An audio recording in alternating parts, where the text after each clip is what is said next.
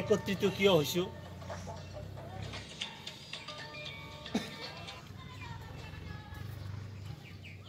তাৰমানে শনিবাৰে আমি এটা বিশেষ এটা সিদ্ধান্ত ল'লোঁ যে আমাৰ বৃহত্তৰ হাজিৰহাট অঞ্চলৰ যিসকলৰ উদীয়মান আমাৰ যুৱক যুৱতী আছে যিসকলে ইতিমধ্যে এ পি মানে অসম পুলিচৰ কাৰণে ফিজিকেল ভেৰিফিকেশ্যন হোৱা ইণ্টাৰভিউ হয় তাতে উত্তীৰ্ণ কিছুমান ডিষ্ট্ৰিক্ট লেভেলত হাজিৰহাটৰ পৰাই ডিষ্ট্ৰিক্ট লেভেলত মানে টপ ছোৱালী ছোৱালী বিভাগতে ল'ৰাৰ বিভাগত। আৰু অতিকে শেহতীয়া যিটো সুখবৰ সেই সুখবৰ অনুসৰি দুহেজাৰ একৈছ চনৰ যিটো অসম টেট পৰীক্ষা পাতিলে দেখা যায় কিছুমান অঞ্চলত বা কিছুমান জি পি একেবাৰে শূন্য। জি পিতে একজনে পাছ কৰিব পৰা নাই। আৰু আমাৰ এই বেকৱাৰ্ড অঞ্চল